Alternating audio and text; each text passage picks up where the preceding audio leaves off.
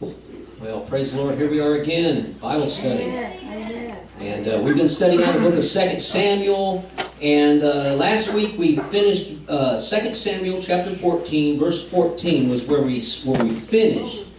And we had already read 15 through 17, but I'm going to go back to it. So we're going to start reading verse 15. Uh, the little background that we had is that Joab is trying to uh, tricked David into bringing Absalom back, even though Absalom had been banished from Jerusalem because of, uh, of, of, the murder of his brother. So uh, that's where we're going to take off right now. Verse 15 says, Now therefore that I am come to speak of this thing unto my lord the king, it is because the people have made me afraid. And thy handmaid said, I will now speak unto the king, it may be that the king will perform the request of his handmaid, for the king will hear to deliver his handmaid out of the hand of the man that would destroy me, and my son together out of the inheritance of God. Then thine handmaid said, The word of my lord the king shall now be comfortable for as an angel of God. So is my lord the king to discern good and bad. Therefore the Lord thy God will be with thee. Okay, y'all remember that this lady is, is, is doing a ruse. She, she's actually lying about having a son. She really don't have a son. Right. But she's trying to get David to realize what he's done with Absalom. Right. And trying to restore him. Because jo this was Joab's plan, okay? Right. Now, uh, I, I, I, found something interesting here, though, I'd like to look at. Um, in verse 16, she says, that uh, he's like an angel of God. Now, the word angel there, and when you find that word angel in the Old Testament, the word is malak, and it means a messenger. Okay, so he says, you, she says, certainly you are, you are a true messenger of God. Okay, not necessarily an angel with wings, right? Right. Okay, and in, in his decision making, uh, he discerns. Right. That word discern there. Uh, I'll go back back a minute pick up one more word. But the word discern there is shama, and, and that means that you give ear. You, you hear someone. Uh, you ever talk to someone and they don't hear you? Amen. Uh-huh. huh? and all the I think men have a real bad problem though. My problem, my problem, I have a problem is that when I do say things, they come out sounding differently than I thought I was saying them. you ever had that happen to you? Where they thought they heard something completely different than what you thought you said. So you hung out with Dale and I this morning. hey, I'm, I discern things. I do.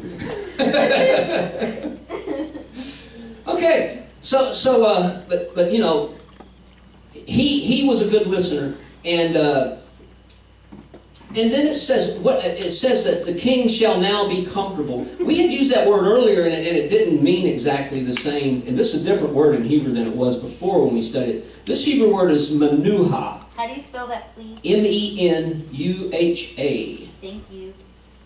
And uh, it means to be at rest, or be at peace, or be at ease. In other words, the word that the Lord has made me to be at ease. Now, I have to back up because I just remembered something. verse 16 says that she was in danger of losing the inheritance of who? God. Why would she say that? What inheritance of God did she have? I don't think she did. I mean, David was the one that had the inheritance of God. It was almost exactly like she was speaking exactly what Moab, Joab, was trying to tell her to tell David about, about him. That you might lose the inheritance of God if you don't restore your child. Right. Because that's the, that's the child that's supposed to be the inheritor of the, of the throne. He was older than Solomon, right? Right. But we know Solomon's going to end up being heir to the throne. All right, I think that brings us to verse 18. This is where this is where David starts to suspect there's a problem. Then the king answered and said unto the woman, Hide not from me, I pray thee, the thing that I shall ask thee. And the woman said, Let my lord the king now speak. And the king said, Is not the hand of Joab with thee in all this? and the woman said, As thy soul liveth, my lord the king, none can turn to the right hand or to the left from aught that thou, that my lord the king hath spoken. For the servant Joab, he bade me, he put all these words in my mouth of thine handmaid, to fetch about this form of speech that hath thy servant Joab done this thing, and my lord is wise, according to the wisdom of an angel of God, to know all things that are in the earth. I think she th- truly thinks that he had some sort of vision about this, but it was it wasn't that hard to deduct what was going on. I don't even think you had to be Sherlock Holmes to figure this one out. Because she, I think she made a mistake saying, "You're going to lose. I'm going to lose the inheritance of God," because Right. that didn't have nothing to do with her. Yeah. Uh, okay, she breaks down and tells the truth, right? Right. And, and uh, David had that look.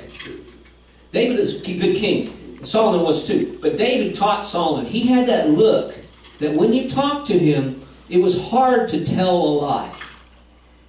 Or when you tell a lie, the king always knew you were telling a lie. It's Remember- like your mother. Yeah, I was, I, I was going to get to that. And I know I've told lots of this, this story before, but I know that parents know when their children are lying. Yes. No. Yes, they do. Well, not me, not with you, but me with Adrian, I can't. Boom. Okay. But I Dad do. can know when you. Believe me, believe me, they may let you think that they know that you don't know. Does that make sense? Yes. Okay. My, the best example was when my kids were little, though. I just got to tell the story one more time. I remember one time that the, a police officer came to my door. My, my son was eight, and my daughter was six, seven, maybe, right there. And uh, this police officer knocked on my door. Somebody had broken into a home and had vandalized the home with paint. And they had seen the two little redheaded kids, one a girl and one a boy. I got two little redheaded kids. And of course, first thing my son starts, no, my daughter too, no, no, we didn't do that, we didn't do that. No, no, called the door. The cop looks at my son, he goes, what's that on your neck? He had blue paint all over his neck. Unfortunately, the house was a, uh, a house some guy had, was trying to fix up. It was in terrible shape to begin with. And the man just made them clean it up. Right. And, and it's, I told I told the police officers, just take them down to the station and arrest them, okay? Maybe they won't do that again, right? But parents knew, no, and David definitely knew when he looked at someone and they went lying. And, and another thing about lying, and, and I, I seen it in this in this discourse because it got kind of long after I was trying to study this. It just kind of kind of drug out, drug out. Liars tend to do that. They'll drag the stories out longer. Right. You know, I'll, I'll never forget my brother. My brother, my brother. I love my brother, but he has a problem of stretching the truth. He doesn't necessarily tell lies. He, he stretches the truth. And uh, he has three girls, and they live up in Michigan, and they had finally come down to see us. For the first time, they came down to see grandmother, and grandmother, my mother, has a has a knickknack shelf of all these knickknacks we've given to her all over these years. And my brother had given her a commemorative uh, statue of of uh, Elvis Presley, and he used to work in a liquor store, and they had these these these liquor bottles, but it was Elvis. You know, it's a and my brother was talking about this Elvis statue that was about this big. You know, This- they get to mom's house, and this Elvis statue is actually about this big. and my my my my my, niece is saying, "That's it? We thought it was bigger." You know, so again, lying is not good. And David, we, we learned David was one of the was one of the great liars that we've seen in the Bible. He lies a lot, and uh, and, we, and we need to learn from people. Lying is not good. It's terrible. Even little lies are bad. They don't do you no good. Okay, uh, let's see where I'm getting to. Um, oh yeah, and also wanted to point out in verse 20 uh, that uh, it says here to fetch about this form of speech. This word fetch uh, means it's sabad, sabab, S-A-B-A-B. It means to to bring about. Okay, and she's a real tattletale. Did you notice that? Joab did it. She's all ready to say that, yeah. I apologize. You said S A B A B? S A B A B, that's the word fetch. Uh, and in, in King James it says fetch. It might say something different in your Mine version. says in order to change the course. That sounds Okay. better because I had to look that up because I, I, I, when I use the word fetch, I think fetch a stick, you know. Right, okay. And that's not what this means. It means to bring about, and that, that is a good version. Uh, a little better uh, understanding can be brought by that. Uh, okay, let's go to verse 21. 21, David sends for Absalom. Okay, now David has actually listened to this lady, and she's also he's also thought about Joab. The king said unto Joab, Behold, now I have done this thing. Go therefore, bring the young man Absalom again. And Joab fell to the ground on his face and bowed himself, thanked the king. And Joab said, Today thy servant knoweth that I have found grace in thy sight, my lord. O king, in that the king hath fulfilled the request of his servant. So Joab arose and went to Geshur and brought Absalom to Jerusalem. And the king said, Let him turn his to his own house, and let him not see my face. So Absalom returned to his own house and saw not the king's face. This story just keeps getting deeper and deeper as it gets into into it because we know the outcome is not good.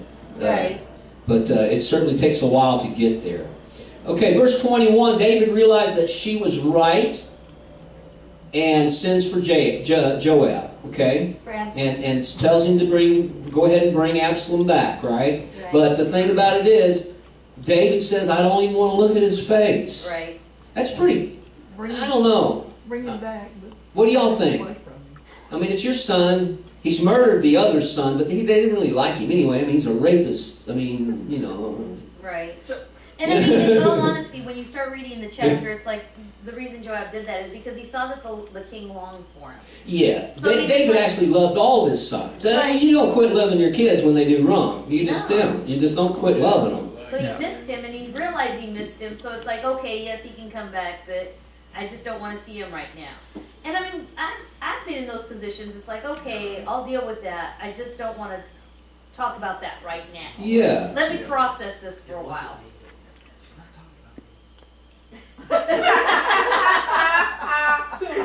Sorry, little argument here.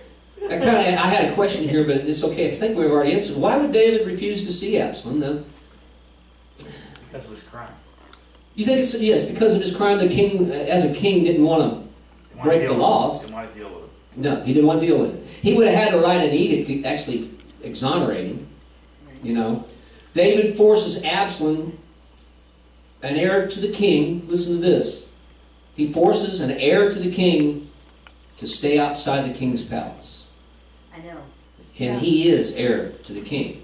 You can be here, but not in my house. Right. Yeah, uh, yeah. You can stay down the street, but you can't stay in my house. I'm going to the family reunion. I just don't want to see you right now. Yeah, You sit at that well, table. well, we'll yeah. sit over here.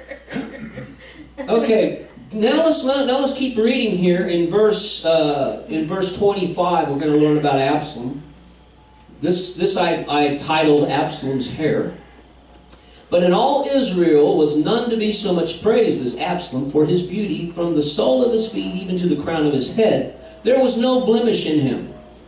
When he pulled his head, for it was every year's end that he pulled it, because the hair was heavy on him. Therefore he pulled it.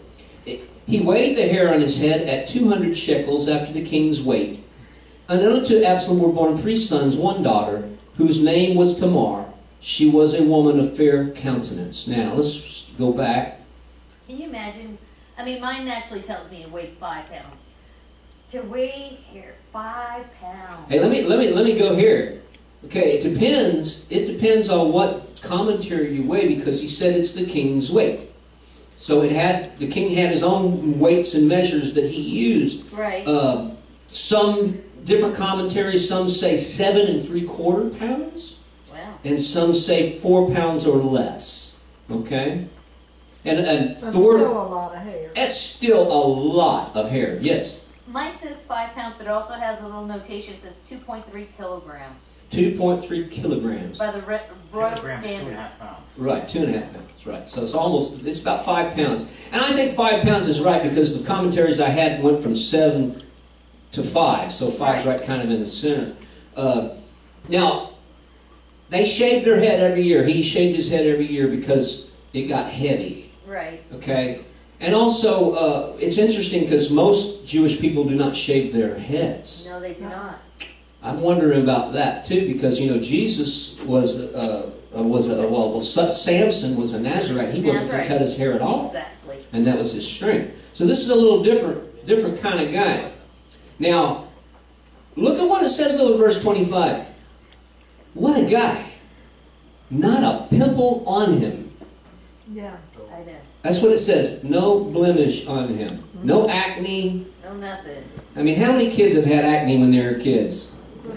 Pimples. Right. I don't think there's any kid that didn't have pimples. Well, this guy, this guy didn't have even one. You know, he's that guy in school that all the girls love and the guys hate. You know. And then he has the hair. Yeah, and he had that hair. He had that look. Looked like John Travolta In his youth. Right, when in his good days. Yeah, in his in his, in his prime. When I think him, I think of Joseph. Yes. Oh yeah. Joseph was a, a lovely looking man.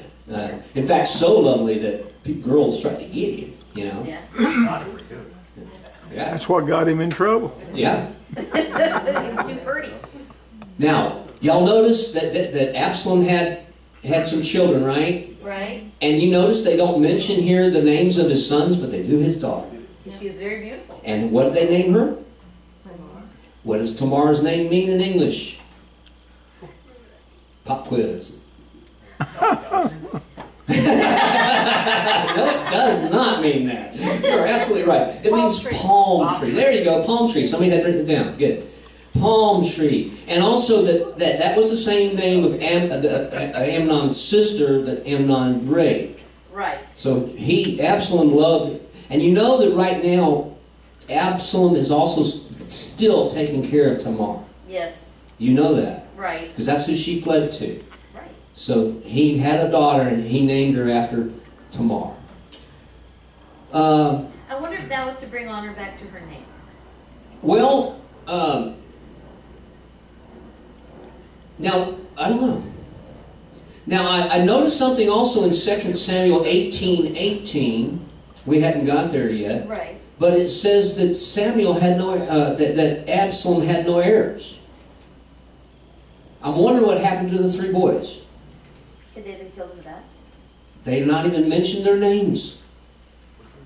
You know, I mean, unless you can find them I, uh, and do a little better study than I did. But I found that, that, that they, they, they that they must have been killed maybe in their childhood. I do not know.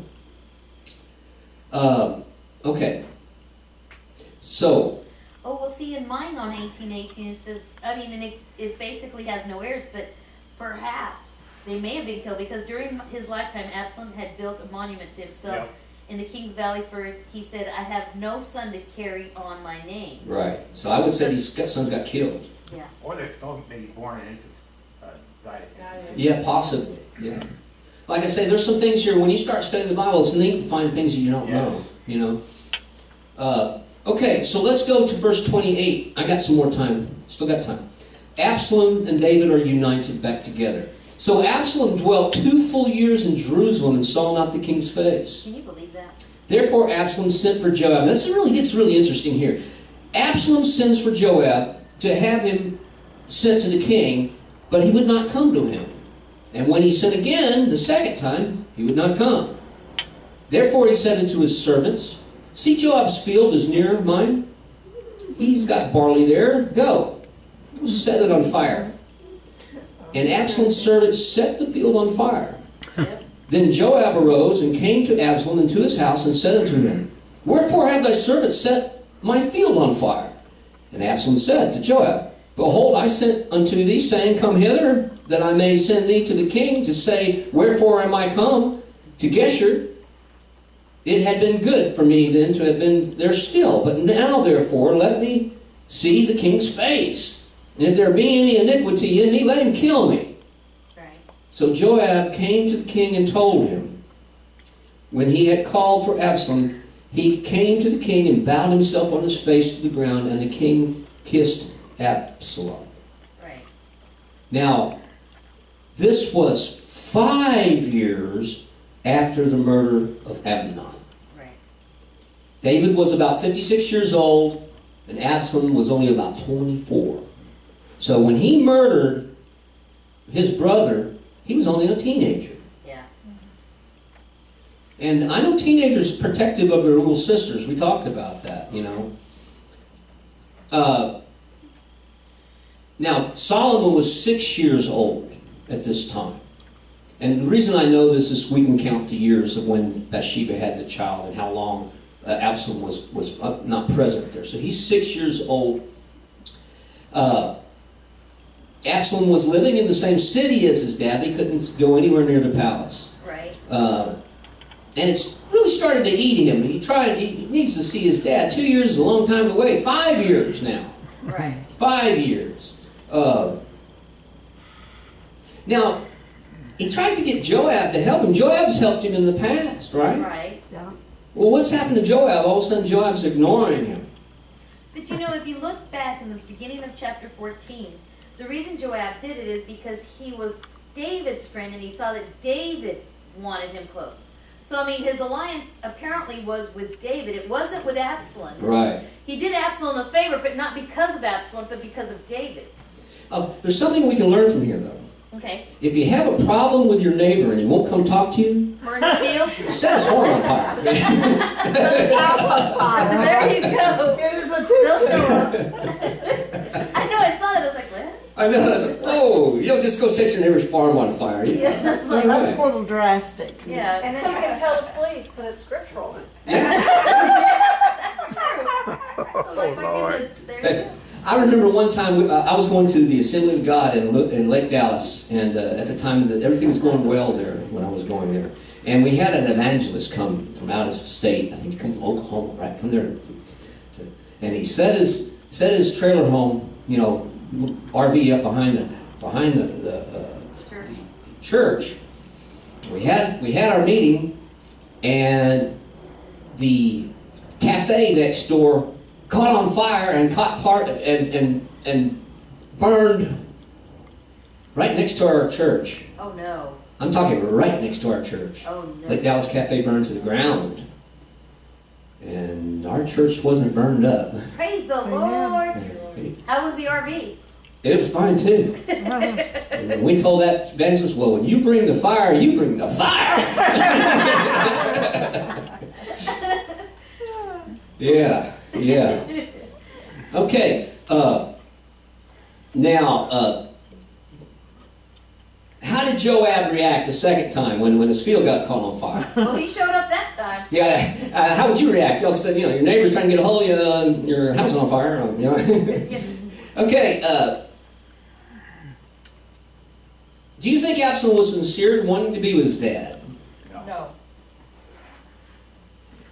I don't know though. Remember when when uh, Esther had to face the king? You speak to the king, you get killed, right? Right. So Absalom couldn't just go talk to him. Right. Although he did say that if he wanted, you know, he wanted to kill me, he could kill me. But if that was the case, then he would have just gone himself. Yeah. Yeah. I mean, I believe Absalom knew that he was the heir to the throne, but he was getting pushed pushed aside. You think he was getting worried about his? He just wanted to get close for an ulterior motive. Yeah. Cl- close to being able to do something within the armies or whatever, because this is a big government thing. Right. And, you know, I mean, And when you're on the outside, you can't. now Absalom was received by David, and I had read some different commentaries. It seems that David's kiss may have been cold and indifferent, Yes. just like you'd kiss anybody that would come to your throne and ask of you a, a favor. Is it almost like a checklist? Okay, I'm kissing you because it's supposed to be something I'm supposed to do. That's what I think. I think so. I really do. Uh, okay, I've run out of time again. So what we're going to do next week, we're going to study. We're going to start in chapter 15, lesson 15, and the uh, it's where Absalom starts to steal the hearts of the people of uh, of, of Jerusalem and the outsiding uh, of the of Israel. So, uh, all right. God bless.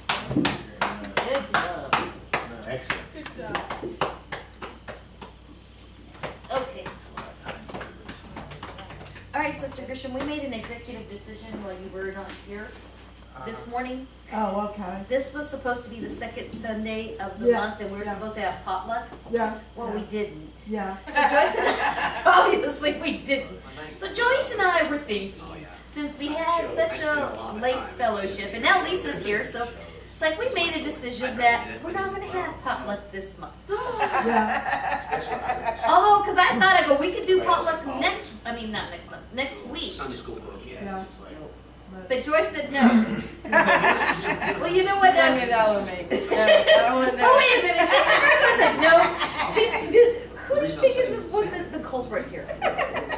Who cares? Who But then we're not going to also have it in May either because it's Mother's Day. Exactly. So, That's fine with me. And we, and we probably won't see you God bless you. Father's hmm. Day. right? So let's be July